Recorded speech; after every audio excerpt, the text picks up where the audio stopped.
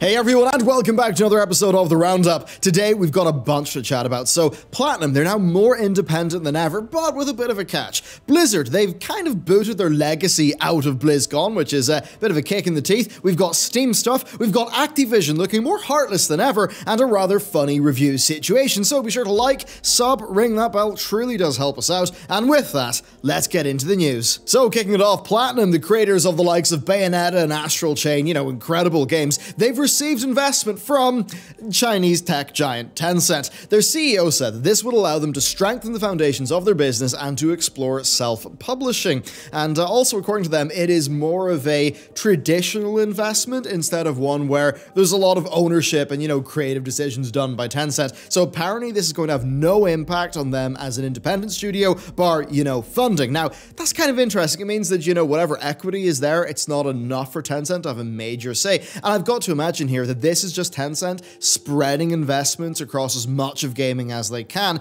hoping to capitalize off broad sector growth. Now, self-publishing, if you know about Platinum, that is something they've wanted to do for a long time, and supposedly this investment will let them control their own IP, control their own schedules, and basically do, you know, outsourced work less and work in other people's IPs less. And they've made their desire for it to be that way, like, really no secret. I mean, really ever since Microsoft's cancellation of Scalebound, I think that must have been the final straw because it was only NieR Automata doing so well, like months after Scalebound was killed, that Platinum basically was saved from financial collapse. And sadly for them, well, Square Enix owns NieR. So hopefully this new partnership with Tencent is not going to have the downsides that you may think of when Tencent appears, and hopefully it'll give them some breathing room. They are some of the, you know, the greatest creators of games when it comes to sheer gameplay, and seeing them just be able to carve their own path, self-publish their own games, I think that really is exciting. Next up, Blizzard. They've axed one of their own games from BlizzCon. It also happens to be one of my favorite games ever. And uh,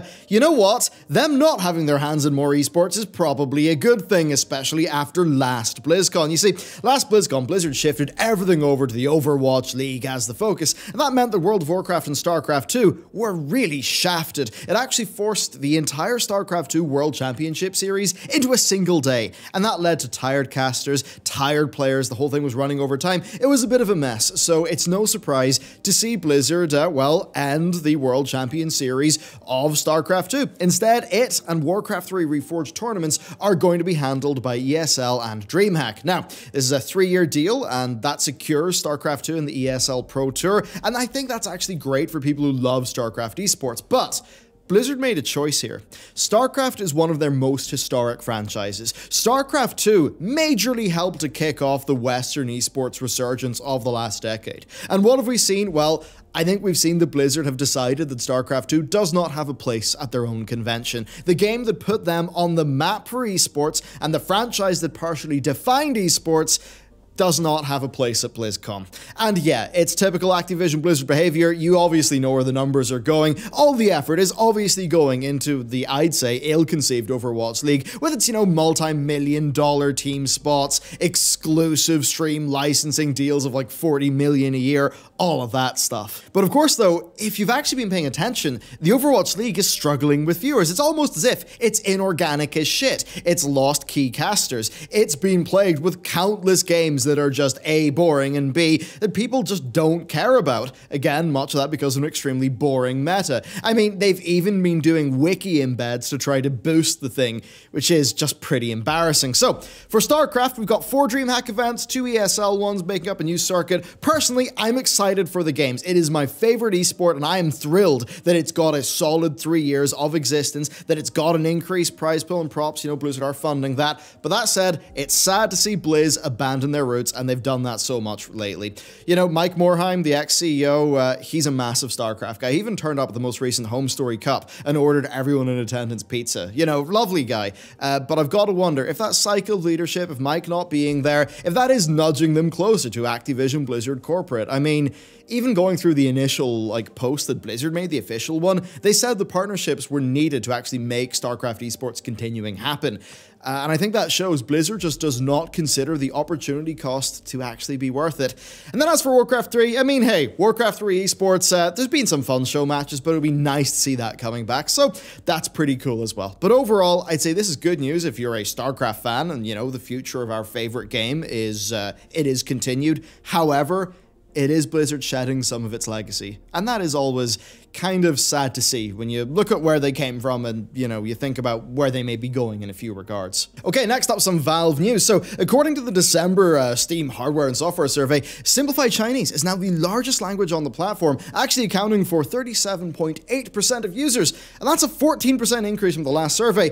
And that makes it clear that China well, to say that it's rising wouldn't really be true, actually, because it's always been quite massive in PC. It's just been really insular. I think it's more accurate to say that it's becoming relevant on the world stage. More Western games are making it, to, you know, to China. I mean, we've got Crossfire coming out on Xbox. Who would have thought that would have happened? There's more Chinese stuff, you know, coming into the West. And uh, I mean, at the end of the day, a lot of people live there. Massive population. We're just going to see this sort of thing happen more and more. And I suppose they are, you know, culturally different groups of people. You know, European gamers to US gamers, they're pretty different in their trends. Same, I think, will go for Chinese gamers. And as that becomes a larger global force in the market, we're probably going to see different types of games, you know, stuff like that happening. What will it mean? I've got no idea. You know, we'll see how it goes. But anyway, let's move on. So, speaking of Steam, Valve have just made it a whole lot easier to buy game soundtracks on its storefront. And that might not be that exciting to hear, but it kind of is in line with Steam just providing lots of good tools for everyone. So, previously, you could only buy a soundtrack as DLC, so you have to own the game to buy the soundtrack. That requirement's been lifted. They're adding in a new library system for quickly navigating your collection of game music. And then on the dev side, soundtracks can now actually be sold even if the base game itself is not available on Steam.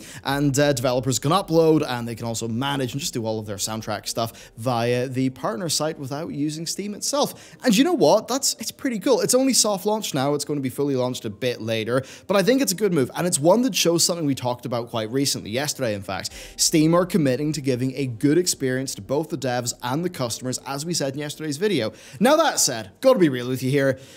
Do you buy game soundtracks on Steam? No. I mean, they're Spotify or YouTube. That's what people are going to use. Anyway, next, let's move on. On the topic of Activision Blizzard, we've got something that makes them seem more heartless and out of touch than normal, which is quite a surprise. So, with the country being on fire, you know, it might not be the ideal time for their Australia-themed cosmetic Outback bundle, but hey, if you want a koala gun charm, a sticker of a dead animal that says try harder, and a few skins, you can get it in Call of Duty rough timing, very rough timing. And you know, if their goal was to launch it now anyway, they probably should have done the usual thing of a capped charity donation. That would have been the correct play here. Uh, that being said, Activision, uh, you know, their support Twitter did like it did acknowledge fan requests for profit sharing, so there's maybe some hope there. Uh, but still, it seems like they didn't even think about this. They already struggle with their corporate image, so doing that just would have been a win-win. I mean, certainly it's kind of funny that with Australia just being more in people's minds in general because of that, I mean, more people are probably going to buy this being real. So uh, a funny little situation. I don't think it's really intentional, but it's just like, come on, guys. Think about your PR. Think about how you're perceived. How could you possibly hit the OK go live button in that without doing any sort of post or any sort of damage control. I mean, it is so obvious, you wonder how it even happens. Okay, next up, Xbox Series X. So, AMD accidentally showed a fan render of it in their CES keynote. Whoops, but we've since seen an accurate one from Microsoft, and this actually confirms two USB 3 Type A's, a single HDMI, and uh, optical audio. You know what? I'm a bit disappointed there's not more USB ports, and I'm disappointed they're not Type C. If we could just get everyone to go to that, you know, one standard to rule them all, durable, reversible, fast cable, it would be so much better. And to get that, we need hardware leaders like Microsoft to adopt those new standards. So it's pretty disappointing that, you know, USB Type A just kind of locked into being relevant for another 10 years. I think that kind of sucks. But I mean, still, it's not a make it or break it thing. Now, also in console news, PlayStation CEO Jim Ryan has said that the PS5's best features have not been announced yet. And that's kind of wild. I mean, we've got no idea what it could be. I mean, assuming this is just a powerful console, fast loading times, it already would be ticking the core boxes that I care about. So I guess we're going to have to wait. Maybe their plan is to just have something up their sleeve after like a more full Series X reveal. But certainly, it's good to hear that they've got something up their sleeve. That's it's going to be spicy at the very very least. And then to cap off today's show, a bit of a different one. So the PC Gamer review of Monster Hunter uh, World really just, it just struck out to me in a way that was uh, a bit odd. And it's something that I, I see more reviews do these days. About a third of it was dedicated to the personal and emotive, uh, well, basically it was personal content about why the reviewer often felt uncomfortable having to hunt the monsters in Monster Hunter. Now, to be fair to him, he did not dock the game points. He gave it an 82. By all, you know, it seems like he did a very good, fair, objective review of Iceborne. But really, it's quite interesting. It makes me think about what is the place of the of the reviewer, right? I think this often hops or sort of appears when you see the PC Gamer review. So you sort of expect like an objective review from a publication instead of just thoughts from a guy, even though obviously, yeah, it's just some guy working for the publication. So I think it's very different, like writing for a publication or doing, you know, just being a creator and doing, you know, say a review in YouTube. But there's also times where this seeps into reviews in a different way, and the one that always just comes to the forefront of my, mind, of my mind, it's Wesley Yin-Poole's review of Dead or Alive 6. The one where he went on a seemingly deranged rant about Donald Trump, Ivanka suggesting they, I think suggesting they were sleeping with each other, and uh, about how a character in Dead or Alive 6 reminded him of that.